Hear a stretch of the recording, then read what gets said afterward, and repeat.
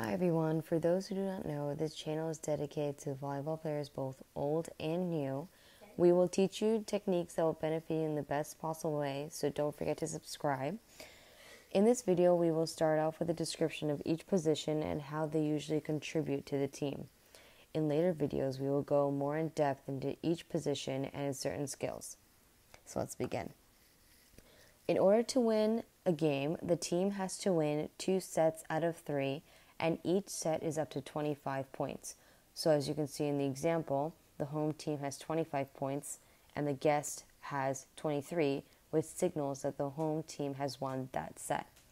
During a game, there's always six people on the court, no matter what. If you're looking at a court from a bird's eye point of view, which is this picture, the net is in the middle, which is right here. The person, let me go to a more zoomed in version of the court. This is just one side of the court.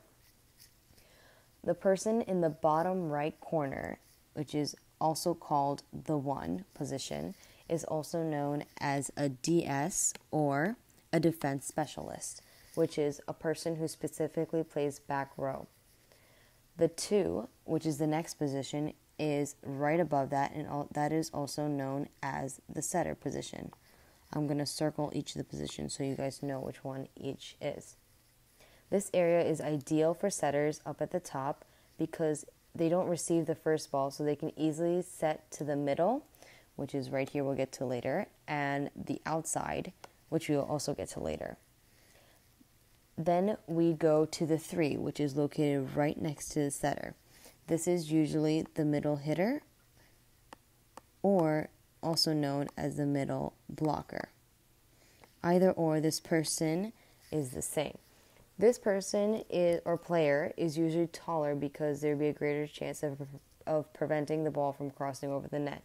The middle person is usually the only the main blocker.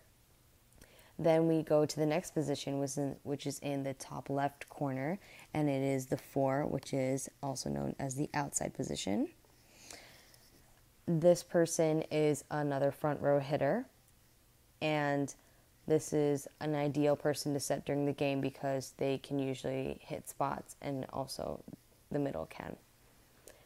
Next, we're going to the five, which is back here, and this is also another DS player who plays back row specifically for front row players who cannot. And then the back row middle is known as the libero and is located in the six. And this is the libero. Um, this player is strictly for back row and receives many of the balls. The the libero over here, libero switches out with the middle blocker. So when the middle blocker comes out to do substitutions, um, my bad, the middle blocker comes back but behind the 10 foot line, not in front. The middle blocker is the only person that does substitutions behind the 10 foot line to switch out with the libero. The outside players or any other player have to do, if they do substitutions, they have to do it here. Middle blockers, they just switch out for liberos. Now, going on to the rotations, which we'll get a new one. Okay, so we're going to learn the rotation. Let me just renumber the spots. A little ugly.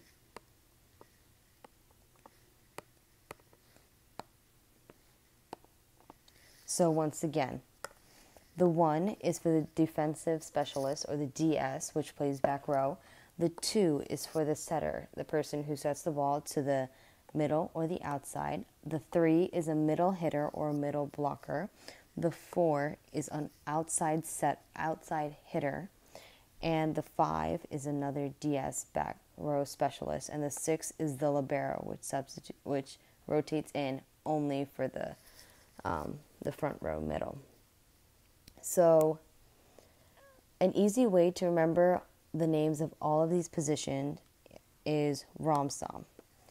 So, by this, I mean the first person starting in the five, this person is also known as a right side hitter, meaning this person is opposite from the setter.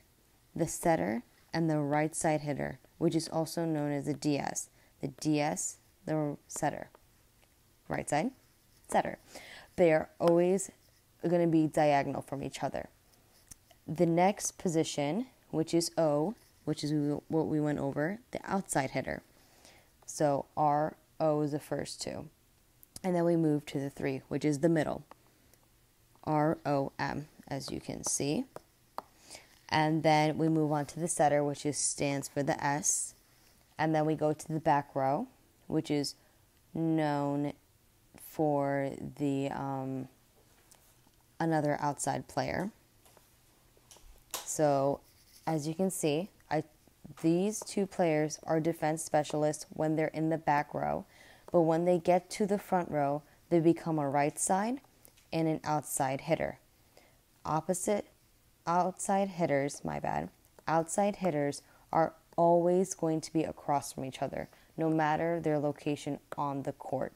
Outside hitters are across from each other, right side and setting uh, setters are across from each other. And last but not least, we have the six, which is also known as the other middle because they substitute out the middles are always going to be across from each other no matter what on the court. The outsides are going to be across from each other on the court no matter what. And the setter and the right side are going to be across from each other. And then there you have it. You have R O M S O M. ROM SOM. It's an easy acronym that helps you remember all the positions and you can and if you don't remember on the court where you're supposed to be at a certain time you can always just look to the person across from you to make sure you have the right person. So that's it all we have for our first video today. Thank you guys for watching and tuning in. This just gives you a brief overview of each of the positions what they do and how to remember them easily stay tuned for our next video. We hope you enjoyed. Thank you